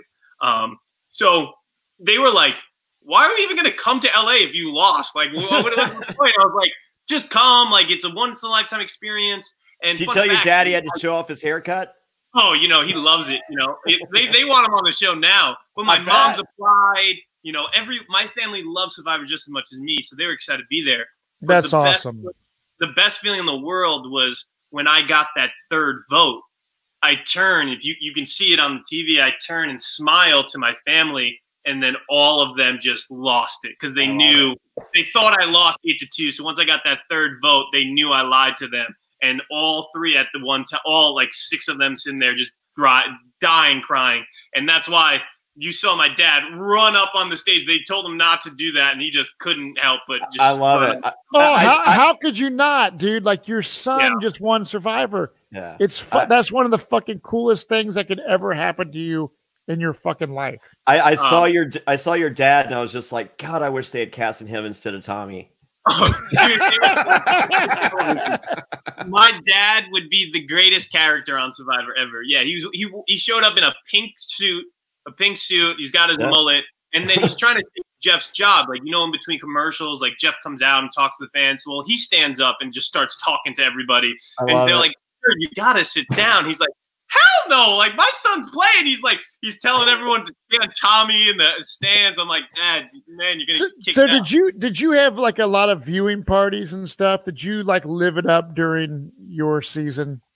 Yeah, it was it was a lot of fun. My first one was just like all families and friends. We had probably like hundred people at like a local, you know, watering hole. But then after that, Dean and I did them all together. So uh, Dean and I were friends throughout the season. They didn't show how close we were actually. Like we, we were pretty good aligned since merge. But um, I I watched all of them. Dean's family, my family, they're really close. Um, so it was fun to like get both of our families together and watch it. So would you play blood? Someone, one of our uh, listeners, Sam Higdon, says Tommy and his dad for Blood versus Water two. If you guys got a call for Blood versus Water, um, well, it's Blood versus Water three actually, but would would you guys play it? um all my they argue all the time they're like who would be better my mom my dad my fiance who's going to get asked your, back your dad. oh he would, he would 100% and then He would, he would send you home. I think that would be great. oh, he would As everyone i would love to play with any of them just to and i think if i played again i would play for them you know what i mean i feel like it's hard to win two nights in a row i feel like you could then kind of like what uh amber's doing is like help Yeah. them out a little bit and And what get them- Rupert did for his wife. yeah exactly Right. you know i got my experience Yeah, and and uh, Tommy, I, I know you don't talk about. It. Uh, can you, Matt? Can you post uh, uh, Tyler Warber's uh, post? So Tommy also has a, uh podcast. He does, uh, it's sponsored by Casper and My Pillow. So uh, be sure to check that out. It's a promo code. I'm a friendly ghost, right? I won't give them nightmares. Casper won't give them nightmares. So Tyler, you know, all right. I'm, So- I'm more of a pa- purple mattress guy. I don't know. So so we see a scene of Jeremy, Ben, and Tony, and I'm loving Tony this season, you guys. I, I I'm a big Tony fan, and I Yeah. think Tony is playing a great game because I, you know, it's kind of like that coach edit where you know the first time is great, second time is uh, third time is kind of the charm. And I think Tony, he's such a big threat and such a likable guy, but he hasn't been on the radar of going home right now. And we see Jeremy Ben and Tony talking. Uh, everyone is saying, you know, possibly Nick going home. And then um, Nick keeps butting in on every conversation that's happening as we see in the edit. You yeah, know, Nick. Like, Nick is a what's it, is it, what was it called on Seinfeld? A close stepper. I don't know. I mean, obviously, remember, remember on, on, Seinfeld that guy used to. Uh, uh, he uh, no. Uh, I never watched Seinfeld. I have no idea what you're talking uh, Side side idler. But anyways, Nick's buddy guy that kept, kept doing that to Elaine, and she eventually gave him uh, Tic Tacs. So, so you you could hear him uh, coming down the hall. Oh, uh, Seidler. Yeah. He's a Seidler. Yeah. Who knew Nick is a Seidler? Yeah. So he's. I mean, you know, Nick is a newer winner. He's a fan of Survivors, so I, you know, him showing up, um, walking up to different conversations, it doesn't surprise me. Yeah. If I'm out there, I'm going to be walking up on different conversations as well to see what the hell's going on. And and and I want to say this, like uh, Tony does refer to Nick as a low profile player. Nick might be a low profile player, but I respect his his game more than a high percentage of the winners. So I I, I think Nick, that you know, there, there's certain winners that win with luck. You know, certain circumstances get them there. And then there's other players that, you know, in spite of whatever uh, the survivor gods foresee to happen, they win in spite of that. They they own their destiny at the end of the game. And uh, Nick Wilson's one of those guys. Mm-hmm. Now, do, do you have you, have you met Wait, Nick before, Tommy? No, but I'm really like Elaine's my best friend from my season, one of my best friends, and she's close with Nick. So like we talk through people, you know, and stuff like that. He hit me up when he was in New York, but then I wasn't in New York. I was in Pennsylvania. But yeah, I've, I've like we know each other through Elaine pretty much. Yeah, yeah I mean, what would you what would you say about Nick's game? Would you consider him? I mean, like, would you agree he's, he's low profile, but would you also have him on your high respect uh, column? Look, yeah, exactly. He's a, he's definitely a low profile winner. He was just on a great season, like you, you said, that helps you know that status. But I think what's hurting him right now is I don't think Nick really knows what it's like to be really on the bottom, where like your name is on the chopping block. Um, so I think then he's like, wait, not in his season. Everyone kept coming to him and talking to him, where now no one's talking to him. He's like, well, what do I do? I should pop in on conversations. So I think it's just an adjustment, and like if he finds footing, he'll be fine. You know, yeah. he's a good player. Well, well, he he was he was low man on the totem, totem pole at the beginning of of uh, David versus Goliath. If if Pat isn't medevaced oh. out, he's the first True. boot. Yeah, he wasn't doing shit. But it, he still never changed that in his game. but, but, but it's interesting because seeing him walk up on conversations make him makes him look like a little like puppy dog kind of thing, like but, he, like a starstruck kind of guy. Like, like they were catching him doing it and but i you know i feel he was kind of nonchalant about it whereas i think adam does the same thing but adam does the so what are you doing? Yeah. And so you know by compare and con- contrast I, I i you know i i think nick was immensely smoother. And you and you did have uh who was it that mentioned um uh nick mentions that uh, anyone that has played with Adam has told him, don't trust Adam. Mm-hmm. Well, I mean, it, it, comes down to, you know, Nick wants Adam out. Um, and then, you know, Nick is a possible person on the chopping, chopping block, but then also Wendell. It's like those are the three people. Tyson, who's won his way back in the game, who is someone who could win the game, is not even on anybody's radar. And and I wonder like if, if that would have been Boston Rob or Parvati. I think if it's Boston Rob, especially, but Parvati probably so as well. Next boot. So, but yeah, you know, you but, but he bought an idol. Tyson was not even uh is not even a factor. And I, go ahead, Tommy. I thought Tyson played it unbelievable, right? Not only did he win himself back in the game, he now has seven friends on the jury but sometimes not speaking is the best gameplay. He just sat there, let yeah. the rest of them just kind of demolish each other, and he's like, "Just use me as a number. I'm just happy to be here." And then once he can gain footing, gain a, a you know someone slowly here, slowly there, then you make your move. So I think he played that phenomenally. I kind of look at it like in my season when there was 11 people left and they split in six and five, right? And there was right. four Lairo girls and me, the Vokai, Vokai guy. Right. Um, and uh, once I saw Missy attacking Karishma, I was like, wait, let them just, I'm going to sit back, let them attack each other. And that's kind of what Tyson's doing, which I thought was fantastic gameplay yeah. so far. Tyson came out of the shoot where he wanted to kind of dictate the pace. And so, like, he went to, uh, you know, whoever that would listen, he's just like, you know, Sandra's the easy, easy vote. I mean, she won twice, like, you know, and, and they're like, no, you know, because if yeah. Sandra's here, she's a shield. I want her here. So then he was like, okay, well, then Tony is the obvious choice. Then he's, he's pitching Tony to everyone. And they're like, no, Tommy or Tony doesn't seem like he's doing anything. Like, you know, let's, and so then he was just like, let's go after it. So at that point, everyone had taught, they're just like, how about this guy that keeps throwing out people's names? Yeah. like, like no one was going after anyone.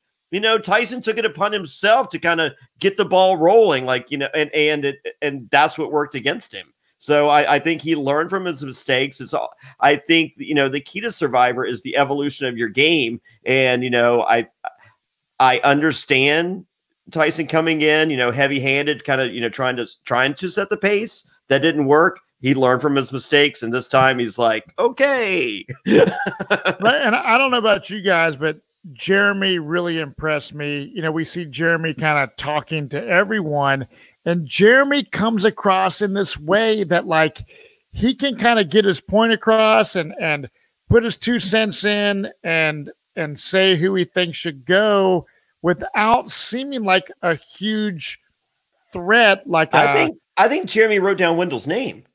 I yeah. know that's what I'm saying, dude. Like, like what, how many? How many? How many? How many votes did did Adam have? He only had three, right? Yeah, he only had three. But I'm saying, I I think Jeremy is Nick playing, Michele, Nick Michele, and Wendell.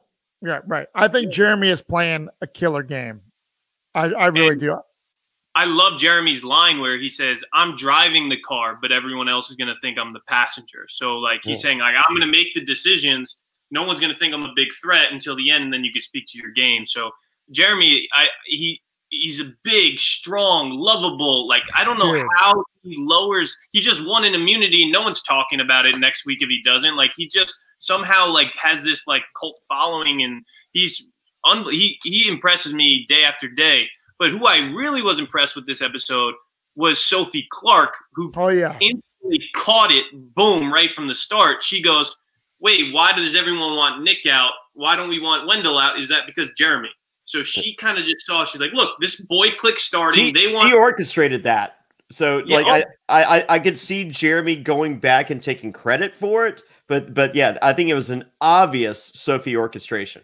Yeah, Sophie yeah. is one of the smartest players in the game. Someone who's well, well Sophie of, Sophie was a twelve year old in high school, as we learned at Tribal Council. Right. That's what she said. My daughter goes, she was 12 in high school? No wonder no one liked her. he's,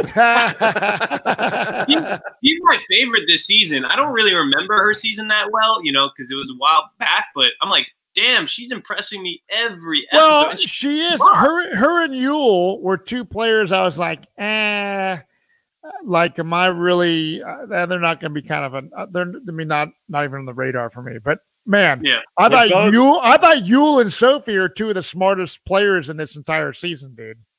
As far as strategic players, yeah. and it being yeah. good television. I mean, like like they've kind of owned their scenes that they've had. Yeah. Oh yeah, one hundred percent.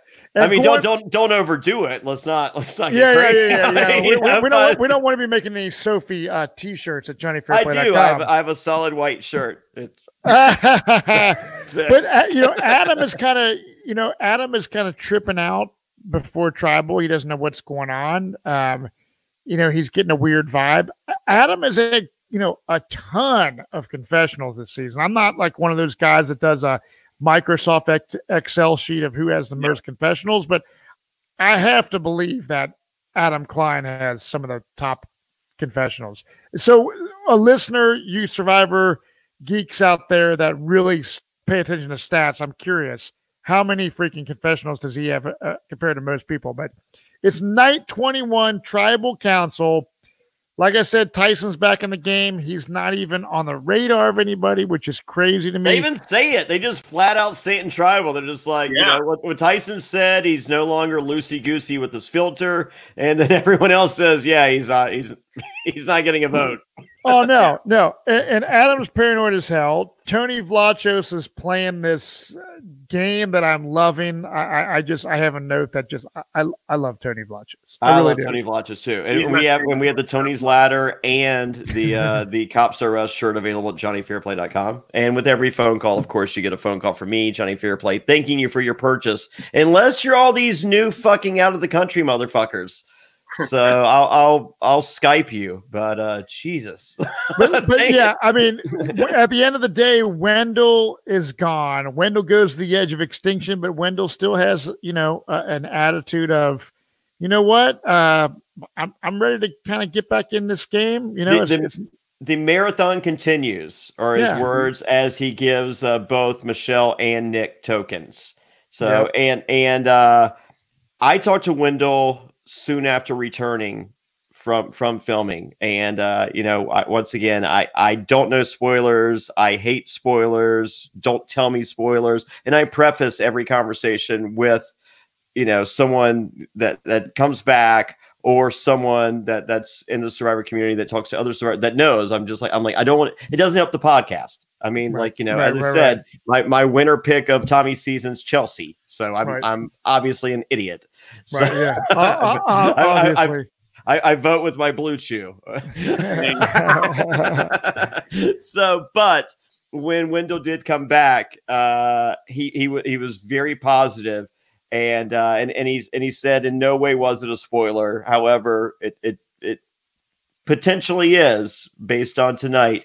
He uh, his exact words were, "It sucks to meet your heroes." Wendell said that. Yeah. And yeah. and and I I think tonight I learned what the definition of that was, and uh, I think Jeremy Collins was his hero. Wow, that sucks, man. there you have it, guys. So. Wendell Wendell goes home. I think, uh, I think there's more that we didn't see because you saw you saw Jeremy championing to to to turn the vote to Adam versus Wendell, you know, since it was a ch- choice between and Nick and Wendell, and it, and it, looked like it was it was leaning towards Wendell, and so he went back. He he did get behind the wheel of that car versus being a passenger, you know, trying to save Wendell, and uh, and I think there's there's a good 20 30 minutes of conversation that we did not see that Jeremy that Jeremy uh, jumped on board the I'm I'm cool with the Wendell vote train. Well, I, I, let me ask you guys this. So Jeff says something at Tribal about um, you know Tyson's back in the game, and I think Tony or somebody says, you know, hey, it's a new game now. Like at the time, Tyson was the guy to, to, to get out of the game, but now Tyson is back in the game, and and that dynamic is different. Yeah, you, and Tony Tony Tony was at the but like if they had, if there had not have been a merge, Tony's probably the next person voted out. And now all that's changed.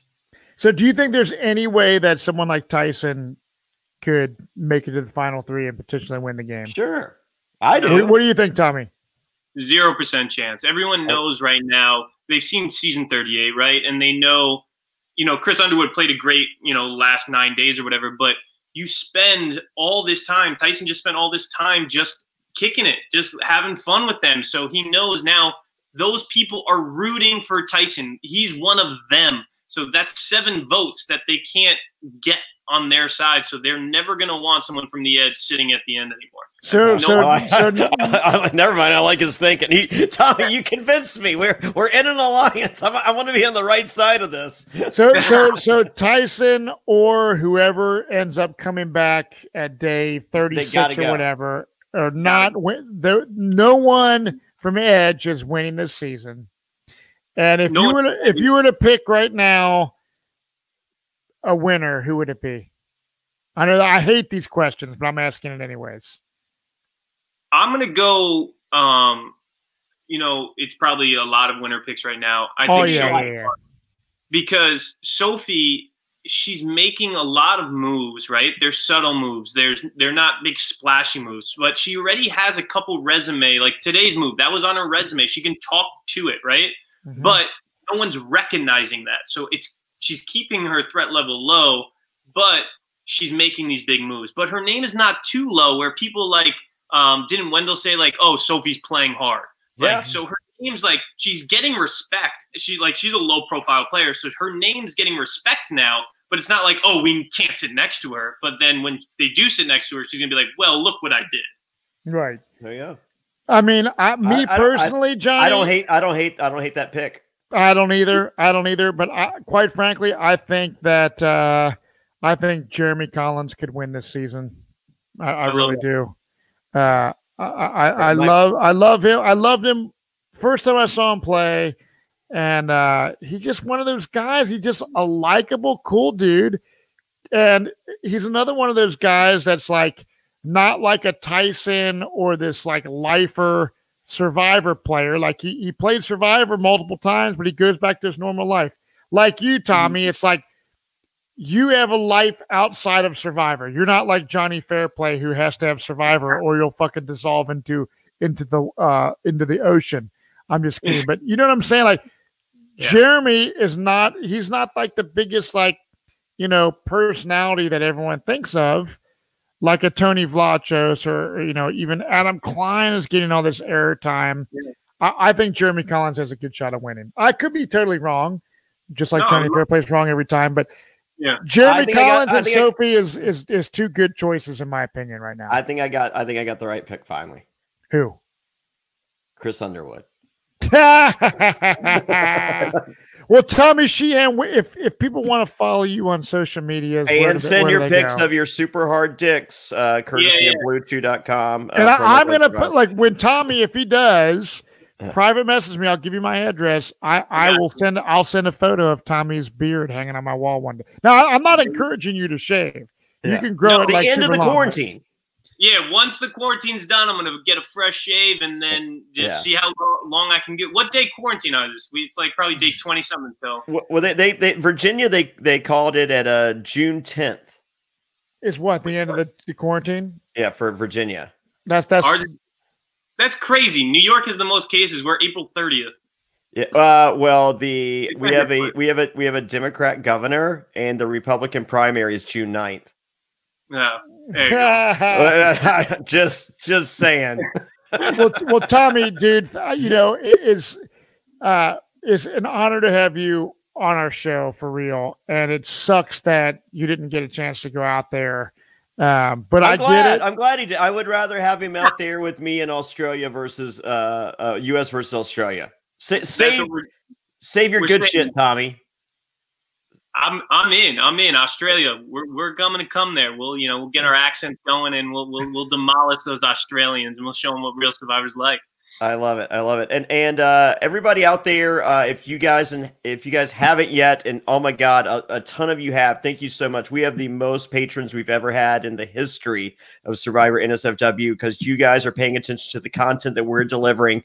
We're doing. Uh, we'll be dropping our second Q and A, in which you know once you become a patron, you get added to the secret Facebook group. You guys are asking the questions. You guys are steering the ship.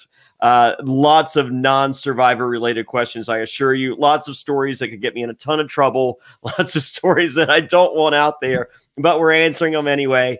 Uh, we have top 10 lists. We, we did last week. We did top 10 worst winners uh, in the history of Survivor. Top five, Tommy Sheehan right there. Uh, we're doing uh, top 10 best winners coming up with uh, Russell Hantz going to be back to join us on that. Uh, out of nowhere, I am recording this weekend with the War Dog. Happy birthday, War Dog! He's just just celebrated birthday, and uh, the War Dog and I are doing the top ten greatest villains in the history of professional wrestling. We are Oh. starting with 1980, going to modern day. I'm so excited about this. I have my list. I do. I do. As of this time, have two honorable mentions because I do cheat, and that's what a bad guy does.